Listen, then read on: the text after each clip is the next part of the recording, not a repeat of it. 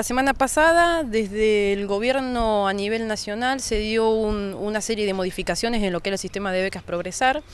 Eh, es un sistema que ya venía desde hace unos años, pero que se le dio un par de modificaciones en cuanto a la implementación. Eh, esto tiene que ver más que nada con la ampliación de la edad, de las carreras y de los montos. Eh, en cuanto a la edad, en aquellos que están en carreras universitarias puede llegar a darse hasta los 30 años, inclusive, y también se tiene en cuenta, como antes, el tema de lo que son estudiantes de primaria y de secundaria. Eh, hay una variación en cuanto a lo económico, son becas que en la sumatoria de los aumentos que se proponen a lo largo de los años, donde el chico percibe la, la beca, puede llegar a los 7.400 mensuales.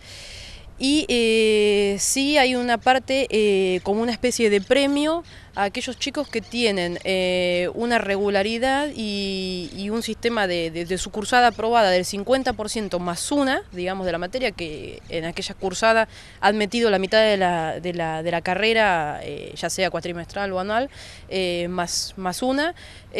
van a cobrar una especie de premio que cuando termina el año se, es el monto total anual duplicado como eh, premio por, por esa regularidad. Esto no significa que aquellos que, tengan esa que no tengan esa regularidad vayan a, perder el beneficio. Lo sostienen, pero es una cuestión de, premiar em,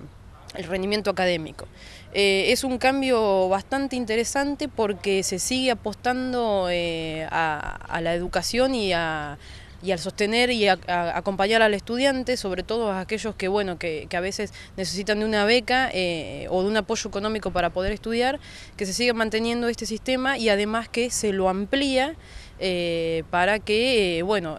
además de la edad, el beneficio se, duplique o, más. Hoy actualmente ayer hablábamos con una estudiante que lo, que lo posee y no llega a los, a los mil pesos mensuales y bueno, con estos cambios eh, en esa primera instancia podrían estar cobrando alrededor de 1.800 pesos mensuales eh, en este primer escalafón, ¿no? Eh, y va aumentando conforme pasan los años. insisto, en aquellos que son estudiantes universitarios se amplía hasta, hasta los 30.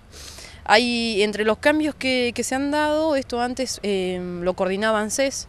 ahora actualmente pasa a la órbita del Ministerio de Educación,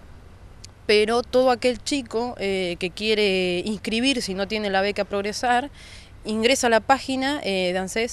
en un apartado solapa que se llama Mi ANSES y ahí si no está registrado porque no tiene la beca puede registrarse con un usuario, descarga el formulario y ya se inscribe y ahí mismo le indica dónde debe presentar el formulario para hacer eh, concreta la inscripción eh, para obtener la beca eh, Progresar.